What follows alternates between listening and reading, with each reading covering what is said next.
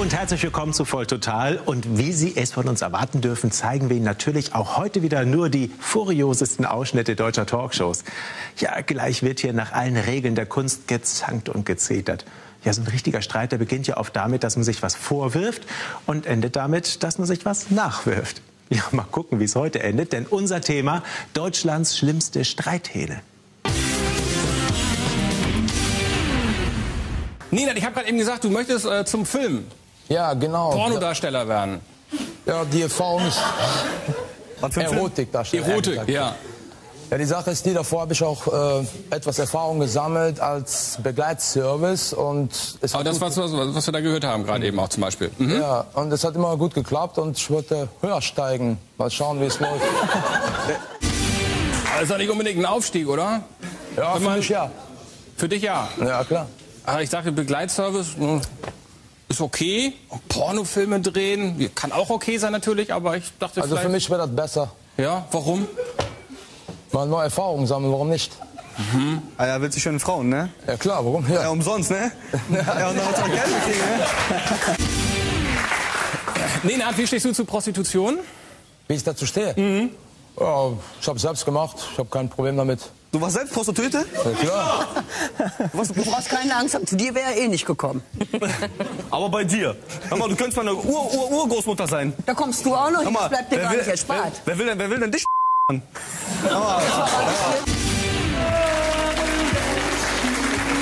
Natascha, grüß dich, hi. Hallo. Geht's gut? Ja, So? Sendung verfolgt? ja. Ja. Was hältst du von Prostitution? Ja, ich halte da gar nichts von. Ähm, ich finde, die Frauen tun sich. Ähm, ähm, wie soll ich denn jetzt. Die Frauen tun sich ähm, einfach ähm, unter ihren Wert verkaufen. Ähm, die müssen das auch eigentlich gar nicht machen. Man kann auch anders arbeiten und dann anders an Geld kommen. Was ist so schlimm an Prostitution? Ich kann, ich kann es nicht verstehen, wie eine Frau sich so erniedrigen tut. Ich verstehe es nicht. Versuch's doch.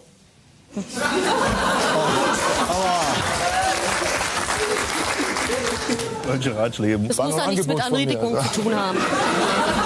Hör mal.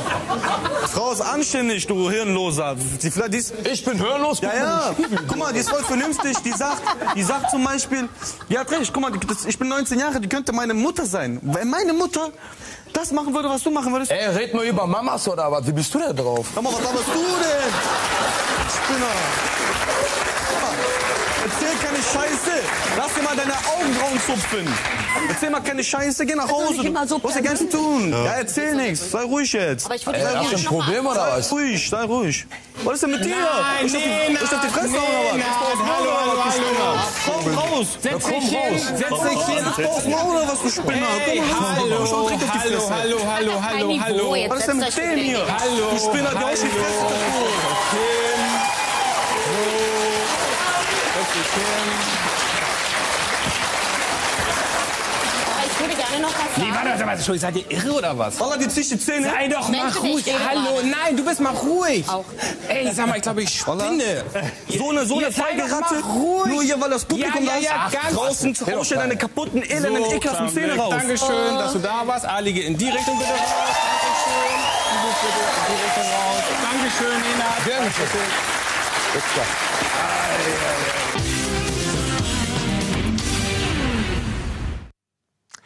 Also man hört und sieht hier ja so einiges. Ja, auch wie manche gewisse Schwierigkeiten haben, sich klar auszudrücken oder sich um Kopf und Kragen reden. Es ist eben gar nicht so einfach, vor laufenden Kameras immer das richtige Wort zu finden. Und dazu fällt mir auch folgendes Zitat ein.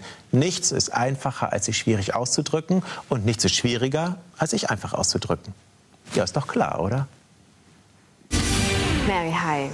Es gab diesen Sommer eine ziemlich große Enttäuschung für dich. Was ist da vorgefallen? Ja, ich habe jemanden kennengelernt durch eine Freundin im August. Haben uns sehr gut verstanden auf Anhieb. Sind auch schnell zusammengekommen, aber leider nur vier Wochen. Weil es hat sich dann herausgestellt, dass er zur gleichen Zeit noch mit einer anderen zusammen war. Hallo. Ja, Dieter, willst du Mary nicht begrüßen? Ich meine,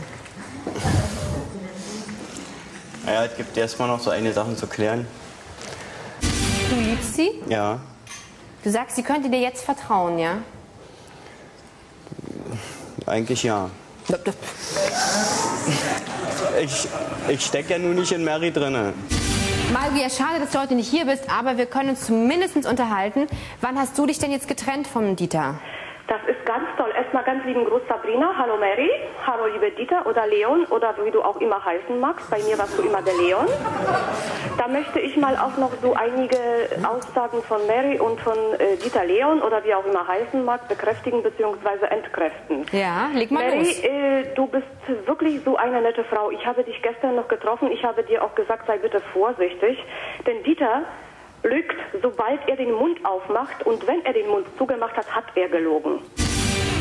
Am 3. November ist er entlassen worden und als ich ihn im Krankenhaus besuchte und ich mich um ihn gekümmert habe, hatte ich ihn mindestens drei, vier Mal darauf angesprochen, soll ich Mary anrufen, sie wohnt ja gleich hier um die Ecken, er lag ja im Klinikum Steglitz, das ist nicht weit von da, wo du wohnst. Da hat er zu mir gesagt, um Gottes Willen, wenn dieser Schnapsdrossel vorbeikommt, kriegt sie von mir ein paar auf die Schnauze, die kriegt doch ihr Maul nicht auf, nur wenn sie gesoffen hat, diese Schlampe. Ich bin weder eifersüchtig noch neidisch. Du, wir sitzen hier gemütlich bei mir zu Hause. Mein Freund, Dieter Leon, mein Freund, meine Freundin und ihr Freund. Mhm. Und wir können die ganze Geschichte alle bezeugen, die wir hier sitzen. Dieter Meine hat jetzt irgendwie so eine Karte gezückt. Was ich steht denn möchte auf? Sie nur davor warnen, sich an diese Kreatur, Ja. die da sitzt, Es an dieses Individuum, denn das ist kein Ho, Mensch ho, mehr. ho. Du bist wie ein weich gekochtes Ei. Außen harte Schale, innen glänzend weiß, wenn man es auch macht, aber verfault. Umso tiefer man ins Innere dringt, umso mehr stinkst du, mein Lieber. Malgo, das... Malgo kann das jetzt nicht sehen. Was ist das jetzt für eine Karte? Weil sonst bringt die uns Klären wir jetzt das so. Mit, mit ihr kläre ich überhaupt nichts mehr, das schon mal Nein, gesagt. ich liege auch kein Geld darauf. Weißt du, du bist wie eine Hundekacke, die einem am Schuh klebt und man Mhm. sich davor ekelt, sie wegzumachen. Malgo. Pass mal auf, in den 20 Monaten, in denen wir so angeblich zusammen waren, existierten außer mir am Anfang Claudia, Katrin, Veronika, Birgit, Claudia und Mary. Das ist in der Reihenfolge. Außerdem sind auch viele Männer, die ich sind heute, lauern ihm auch noch vor seine Tür und das ist das, warum Was er ist denn eigentlich mit will. Frank? Und Sitzt als Hotel noch bei dir? Margot zugemacht hat, hat er sich daran erinnert, es gibt auch noch ein Hotel Mary. jetzt frage ich mal Mary, glaubst du denn, dass der Dieter so ein Schwerenöter ist, der Frauen an jeder Ecke hat? Keine Ahnung. Er hat ihr eine goldene Uhr geklaut, die er mir geschenkt hat und hat behauptet, er hätte sie auf die Pfandleihe gekauft, weil ich eine Allergie habe. Moment, Mary, Moment. erinnerst du dich daran nicht mehr? Doch. Na bitte, die Spiele deines Kindes, die er meinem Kind geschenkt hat und behauptet hatte, er hat sie gekauft. Erinnerst du dich daran nicht mehr? Auch. Vielleicht möchtest du mit diesen Rosen trotzdem irgendetwas sagen, irgendwas Spezielles. Ja, dass mir die ganze Angelegenheit, wie sie abgelaufen ist, leid tut. Und so wie sie das gesagt hat, zum Teil hast du es selber mitbekommen, ist es nicht. Äh, sollen die Rosen da jetzt so liegen bleiben oder Nein, bekommt die Mary sind-? Die sind eigentlich für ihr. Bloß, da sind Vorsicht, da sind Dornen dran. Ne?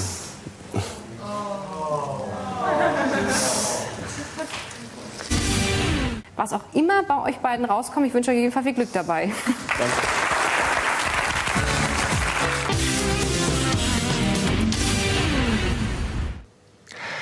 Streiten gehört ja eigentlich auch zu einer gesunden Partnerschaft dazu. Ja, so ein ordentlich ausgetragener Streit, der kann ja auch seine guten Seiten haben. Man erfährt mal vielleicht was Neues und Wichtiges über einen Partner.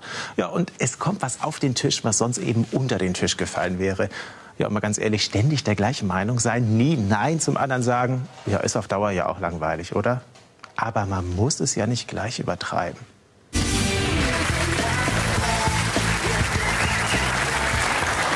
Hi Marc, grüß dich. Wie denkst du über ähm, Rollenverteilung im Haushalt?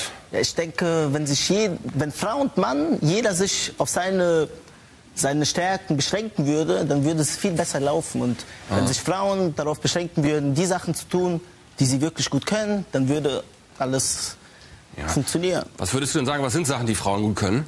Kochen, bügeln. Hast du gerade eine Freundin oder wie lebst du? Ich weiß es gar nicht. Zurzeit, also zurzeit nicht.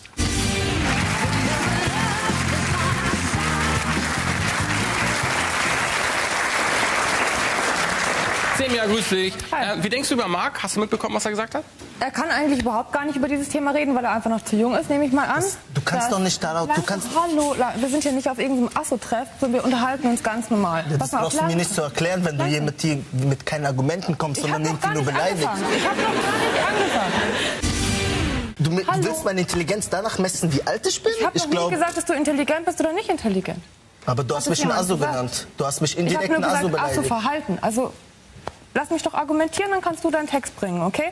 Es geht darum, dass du einfach wahrscheinlich noch zu jung bist, dass ähm, du sagen kannst, von wegen die du? Frauen 26. Die Frauen Du gehören bist nicht viel älter. Lass sie doch mal ausreden. Genau, hey, so funktioniert das nicht. Wenn du das noch nicht gecheckt hast, dann brauchen wir über das andere Thema auch nicht reden. Aber dann müsstest du eigentlich auch schnallen, dass ähm, kein anderes Mal das zu teilen hat, den Haushalt. Es ist ja so, dass jede Frau berufstätig ist. Und ähm, eine Studie, wo du vorher gemeint hast, du hast auch irgendwelche Studien ähm, gelesen, wie auch immer. Das sind keine Studien, das sind belegt auch, belegt auch, dass ähm, du, wenn du erwerbstätig bist, circa 56 Milliarden Arbeitsstunden im Jahr dafür benötigst, wie gesagt, zur Arbeit zu gehen. Und bei dem Haushalt und bei der Familie ist es, ähm, sind es 96 Milliarden Tage, Stunden, beziehungsweise Stunden. Und?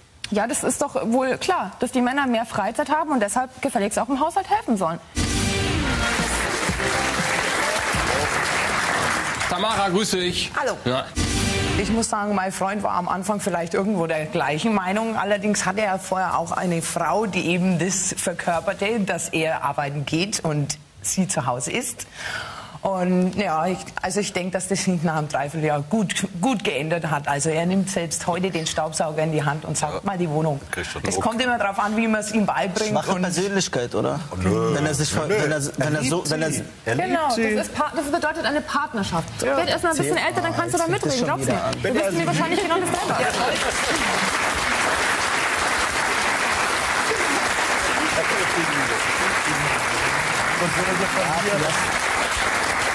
Das, hat, das, das hat doch nichts. Äh, Pass auf, wenn du eine Hammerfrau hast zu Hause und die Frau würde Ich hab dich doch ausreden lassen. Wieso lässt du mich nicht Das halt also halt die Schnauze. Pass mal auf, es ist so, wenn du eine Frau hast Ich dachte, und sind die nicht im die, die Asoviertel. liebst du über alles und die würde jetzt von dir verlangen, dass du einmal in der Woche irgendwie was im Haushalt machst, dann würdest du sagen, hey, Alter, verpiss dich. Nein, das ist doch okay. Das ist doch okay. Und, ja, genau, dann würdest du es auch machen. Also Ja. das hat nichts mit Weichei zu tun, das hat einfach was mit Partnerschaft Das habe zu ich tun. ja auch nicht gesagt.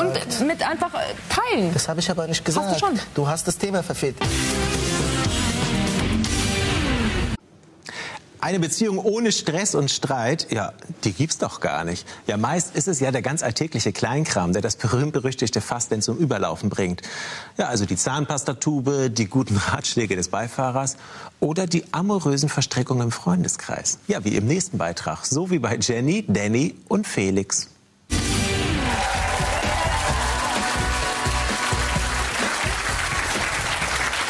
Jenny. Hi. Worum geht's? Ich möchte gerne meinen Ex-Freund wieder zurück. Echt? Wie Ja. alt? Wie heißt er? Erzähl uns die Geschichte. Also ich bin 16, er ist 17 Mhm. und wir sind auseinandergekommen, weil ich mit meinen Gefühlen nicht klar war, weil sein bester Freund ist auch mein Ex-Freund und ich dachte, dass ich doch noch was für Felix empfinde, aber es ist doch nicht so, da ich Danny halt doch liebe. Gibt's da eigentlich jetzt Probleme irgendwie? Ja, Felix ist dazwischen.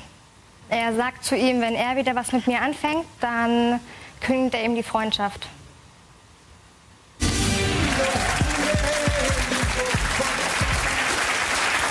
Hey Felix, schön, dass du da bist. Also, erstmal, erstmal, ganz nette Geschichte ist es ja auch nicht, irgendwie die Ex vom besten Freund irgendwie sich unter den Nagel zu reißen. Ist denn da richtig was gelaufen zwischen euch? Ja, was heißt richtig gelaufen? Wie sie schon gesagt hat, ist er ein bisschen umgemacht halt. Ich kenne sie auch schon ziemlich lang. Ja. Deswegen ist sie was für ein Mensch? Warum keine gute Freundin für Danny? Ja, sie ist nicht in allen Dingen so unbedingt ehrlich.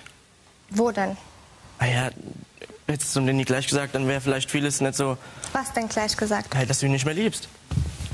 Ich war mir mein Gefühl nicht sicher. Sie hat zu mir gesagt, sie macht Schluss und hat dann mit ihm rumgemacht. Und danach gleich zu Felix? Ja. Mhm. Und das war bei einer Party oder was war das? Oder? Ja, das war eine Party. Ja. Wie ging das dann weiter? Bist du nach Hause? Oder? Nee, ich hab dann, äh, ich hab mich dann halt ein bisschen betrunken. Was man halt da so macht, war halt schon etwas hart. Und, ähm, naja, dann bin ich halt draußen rumgerannt. Und als ich dann halt wiederkam, bin ich halt ins Schlafzimmer rein. Und da lag sie halt nackt im Bett. Und Felix mit Hose unten stand da am Fenster. Was ja nicht unbedingt für Jenny jetzt spricht. Zur Abkühlung, Fenster auf. Nee. nee, sie haben halt gesagt, lassen wir es. Und in dem Moment, als er halt am Fenster stand, kam ich halt rein. Denn ich wollte dir sagen, dass ich dich brauche und dass ich dich wirklich noch liebe und dass ich gerne eine zweite Chance von dir hätte.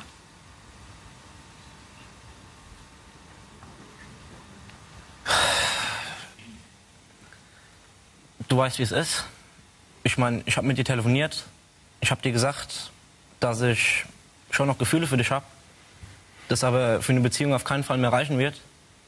Ich habe dir auch gesagt, dass du mich sehr verletzt hast mit dem, was ihr zwei gemacht habt.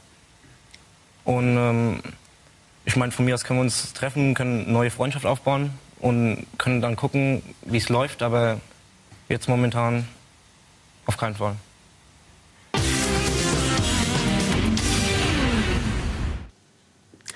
Was machen die Deutschen eigentlich in ihrer Freizeit? Ja, Freunde statt Konsum heißt hier die Devise, denn eine Untersuchung zum Freizeitverhalten hat nun ergeben, dass 90 Prozent aller Deutschen ihre Freizeit vor allem mit ihrer Familie oder mit Freunden erleben wollen. Also nichts mit schnell noch mal los und shoppen. Ja, und für die meisten bedeutet Freizeit, dass ihnen dabei niemand reinredet. Ja, das finde ich natürlich richtig. Sie entscheiden völlig freiwillig, dass sie jetzt vorm Fernseher sitzen. Also wenn ich hier drin nicht arbeiten müsste, ich würde es genauso machen. Ja. Hi. Ich bin ein Traummann und habe 180 Kilo Erotik, sagt meine Frau.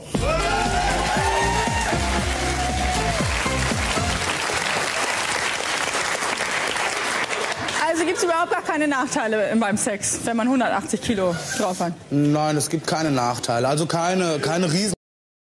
Ich sag mal, mit dem Stehen klappt das nicht ganz so, aber ansonsten hat der Horst schon ganz recht. Wie mit dem Stehen? Ach so, beim, wenn du Im Stehen. Ah, ja, Im Stehen. Alles klar. Äh, ansonsten kann ich mit meinem Bauch wahrscheinlich oft mehr Zärtlichkeit und Erotik rüberbringen als so manche anderen Typen mit ihrem Schniedelwutz. Aber trotzdem ist es ja so, dass du dir auch, dass du eindeutig sagst, ich stehe nur auf schlanke Partnerin. Also, nee, ich habe nicht eindeutig gesagt, ich stehe nur auf schlanke Partnerinnen. Ich habe immer nur schlanke Partnerinnen. Sehr schlanke, sehr zierliche. Äh, liegt vielleicht in der Natur der Dinge, dass sich Gegensätze anziehen. Also eine dicke Frau kommt mir nie ins Bett.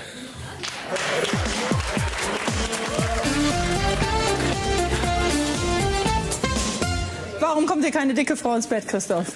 Ja, weil das nicht mein Typ ist. Und weil ich, ich sehe da keine Erregung bei. Also, da passiert bei dir nichts. Gar nichts. Ekelst du dich vor dicken Frauen, oder? Ja, das kann man nicht sagen, aber das tönt mich nicht an. Ab wann Wenn beginnt ich, denn... wenn ich sie streicheln müsste und ich die Fettringe in der Hand hätte, also wäre nicht mein Fall. Das ist so, ich war, ich mochte mich immer schon gerne an, gut anziehen und wenn ich jetzt ausgehe, ich möchte gerne ein besseres Auto, Auto haben, ein schöneres Auto und genau zeige ich mich gerne, wenn die Frau hübsch ist und dass die anderen Männer drauf gucken und sagen, oh Mensch, hat er eine geile Freundin zum Beispiel. Du hast immer nicht viel Selbstvertrauen, ne? Natürlich. Mit einem dicken Auto und mit einer tollen Frau. Ein dickes Auto habe ich noch nicht, aber kommt ja bald. Da arbeiten wir aber dran, oder? Ja, Ford, Es Ford Escort Cabrio ist auch was Schönes, oder? Ja.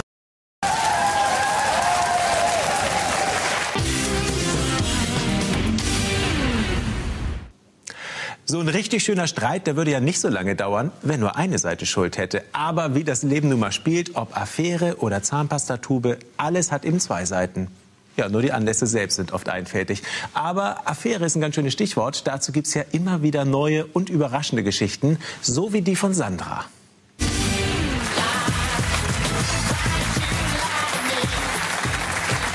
Na, mit wem hast du Streit?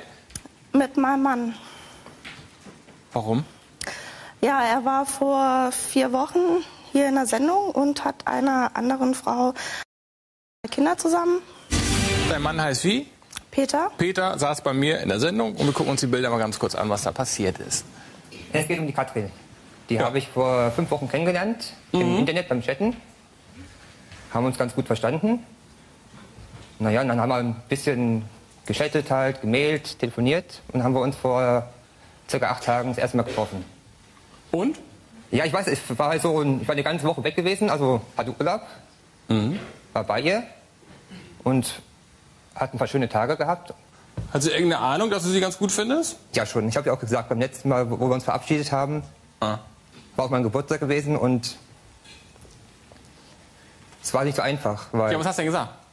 Das, ich habe schon gesagt, dass ich sie liebe und Wir haben uns zweimal getroffen. Er ist hier nach Essen gekommen, weil er in Frankfurt wohnt. Ja. Und ähm, naja, hat mir halt nicht so gefallen. Ja, er meinte wohl dann irgendwie am zweiten Tag, ja, er hätte sich so in mich verliebt und er hat schon lange keine Liebe mehr gespürt und von seinen Eltern auch und so. Ja, trotzdem habe ich ihm dann gesagt, ja, pass mal auf, ich will nichts von dir.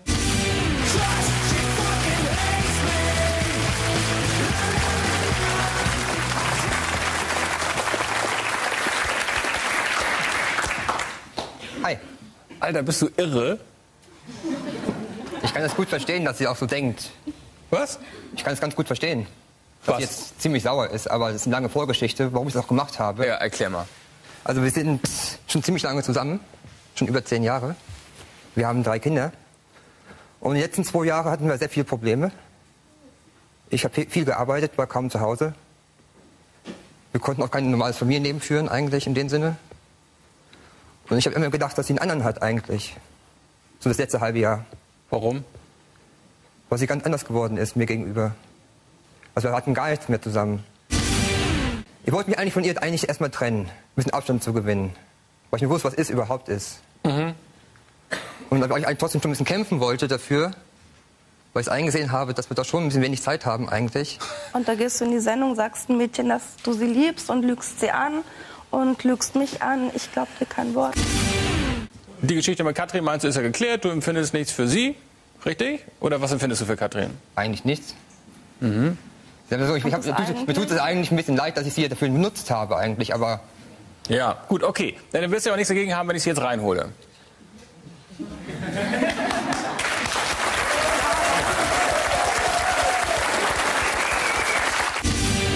So, und dann möchte ich gerne was zu was sagen. Also dann würde ich gerne das Studio verlassen. Weil, ich mich, weil sie mich jetzt angelogen hat. Wer hat dich angelogen? Sie mich. Warum? Weil ich mich total verarscht fühle jetzt von ihr. Ja, ich, ich, wir hatten uns Hat ausgesprochen damit nichts darüber. zu tun, dass sie hier ist.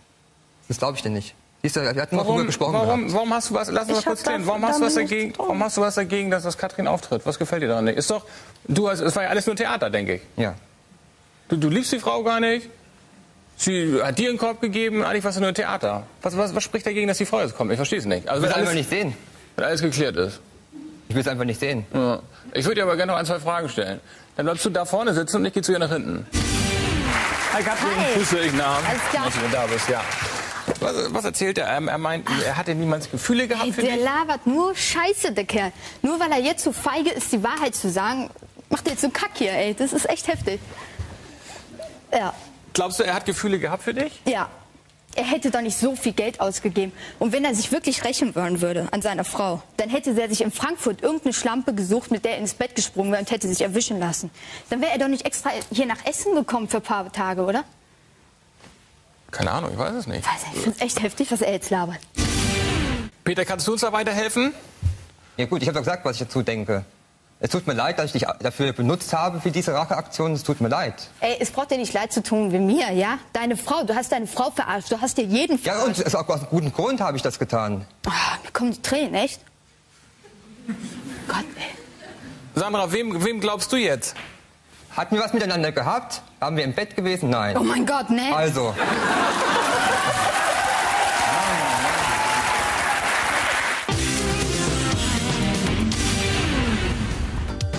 Tja, da fällt mir doch direkt ein, was Jaja Gabor mal gesagt hat. Es hat keinen Sinn, mit Männern zu streiten. Sie haben ja doch immer Unrecht. Ja, das stimmt so natürlich nicht ganz. Ich habe hier ganz bestimmt jetzt recht, wenn ich mich verabschiede. Ja, denn wir sind hier fertig, fix und fertig, aber nur für heute. Tschüss und bis zum nächsten Mal. Ich wollte zu Marc noch was sagen, ob der mit dieser Einstellung überhaupt eine Frau findet. Ja, schon mehrere. Nee, glaubt nicht mehr. Ach, das weißt du. Nee. Ja, wir meinen ihn. Ey, weißt du was, Babsi? Wenn, Nee, ich wenn nenn du mich bitte gar nicht du, Babsi, du, ja? Du, wenn du mich auf der Straße sehen würdest, dann wäre es keine Frage, ob du mich willst, sondern wann und wo. Verstehst du? Nee. Weil du, weil du, kein,